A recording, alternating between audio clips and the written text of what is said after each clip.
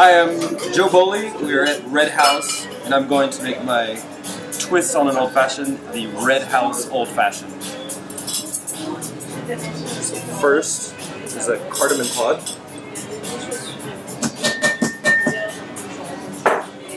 We didn't uh, spend a lot of time thinking of a funky name for that. Uh, 40 mils of rye whiskey.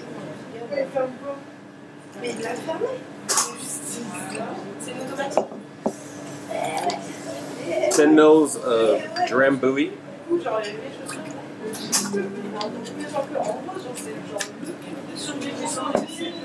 And 10 mils of pimento dram.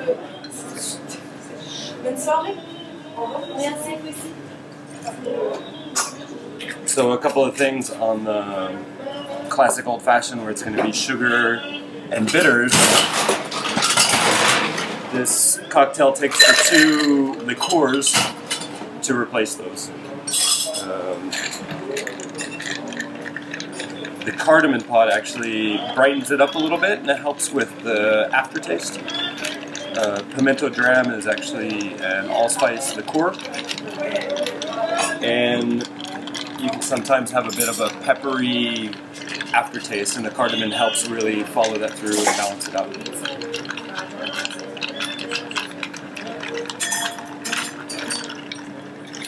So is the boring moment when the bartender is stirring the drink. This is when you need to find a good joke.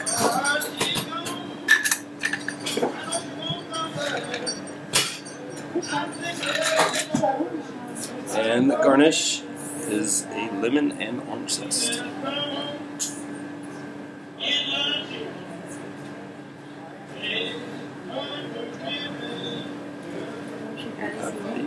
Red House Old Fashioned. Yo